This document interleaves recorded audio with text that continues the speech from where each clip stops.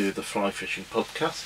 It's been a long time since I've tied any patterns. This year, the season's really been slow getting off the mark. Uh, a lot of cold weather. Um, fish not very cooperative. But what I've found out this year is some of the patterns which have been working in terms of dry flies have been very much the olives and um, my best pattern this year has been a olive emerger. so I'm going to tie this up show you how to tie it. Now I've been using a hook called uh, lightning strike.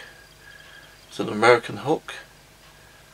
I um, love these little hooks either in a 16 14 or 18 um, for this particular pattern and you also can get the same hook from Orvis in their Clearwater selection.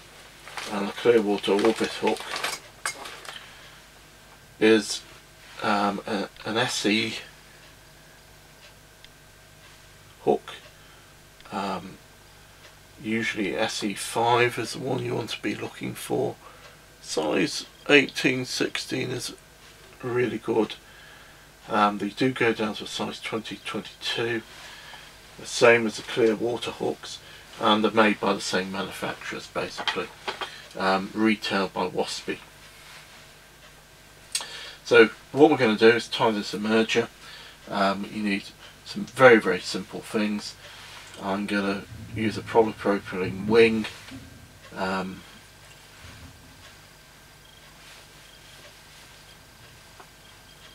to start with I'll put that in just make sure it's nice and upright on the hook. I also like to put in right at the beginning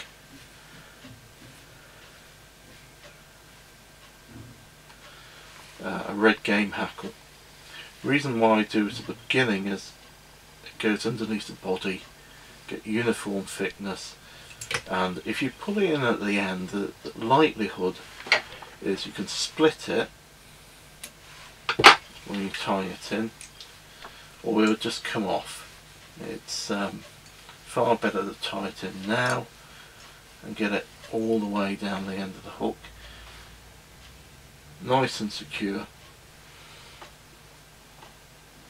And tied in so you're not going to lose it as you're uh, finishing the fly off which is very very annoying.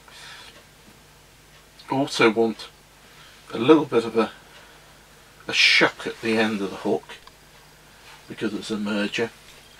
Again, you can use polypropylene or you know maybe something else like a bit of uh, Zedlon or sparkle yarn is just as good but you want to make sure it's fairly thin there's not too much flotation in there I have it about oh the same length of the body or half the length of the body. Tie it so it's sitting nicely down in the water. You get wet that way. And it also gives you that little bit of flash and attraction. The olive is just uh, an olive floss. Just pinch that in. Tie it down. Just any old olive floss will do. This one I'm using actually has come from um, a Fishpond product which is a bag I've got and uh, it started just to unravel it split round the seams which I was a little bit un unhappy about I thought Fishpond products are supposed to be so good but the olive is just a fantastic colour for this olive emerger. I just return that all the way up the hook. This is um, a pattern which one of my friends called Dave has asked me to demonstrate so you can tie it up and see how it's done. I stop the body just about there. The point of stopping the body there is I want to Get it wrapped in nice and secure. Clip it off nice and tight next to the hook. Just like so. The point of doing this is I'm gonna just add in a little bit of dubbing. That dubbing helps to show where the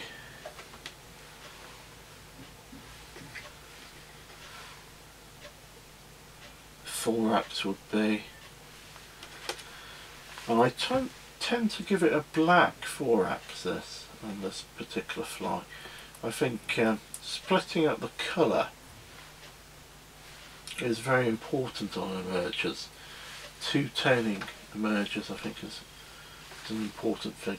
So I wrap it along, wrap it under and then down to the eye. Next stage is I'm pulling the wing taut what I'm doing is just winding the hackle round. And we don't have to be too too clever about this. As we get it, get a decent amount of hackle, it's absolutely fine. You can use a hackle ply if you want to, or you can just use your fingers like me.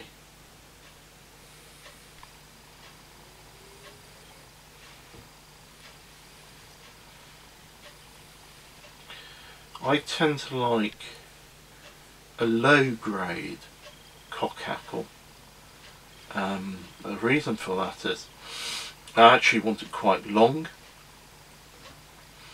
I don't mind if it gets a bit damp and wet.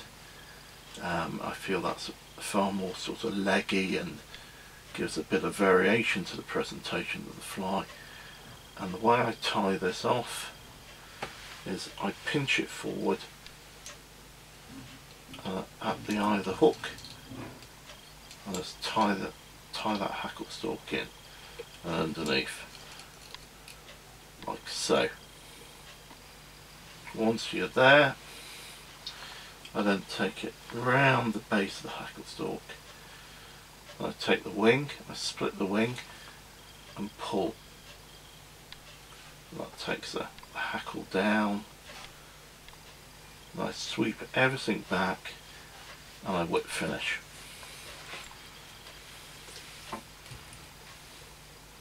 or just put a couple of half hitches in. Half hitch that, one. I reckon that all you need is three decent half hitches. I don't bother to varnish flies. And that's it. That's the basic olive emerger. Just sit that hackle down cut the wing, rotate that and clip the hackle out. And that's just done. And there we go. That's my olive emerger uh, fly which basically at this time of year, start of the year, has been very very successful. Very cold, damp, grey year. Olives are a fly which will come off under those sort of conditions. Um, and the trout have been picking up on these. Now we're seeing a few hawthorns which are coming out and you can vary this pattern. You give it a black body, same same sort of hackle or even a black hackle, grey hackle, doesn't really matter. Uh, white or grey wing and you're well away, you've got a hawthorn fly. Um, it in a bigger version, you've got a, a emerging mayfly. And this year everything's been so mixed up. This has been a fantastic pattern, it's just been there. The trout have been up and at this. Um, and no other fly has done the business. Anyway, tie it up, give it a go. Olive emerger. Um, and come and see me and ask me to tie a few more patterns on the Fly Fishing Podcast.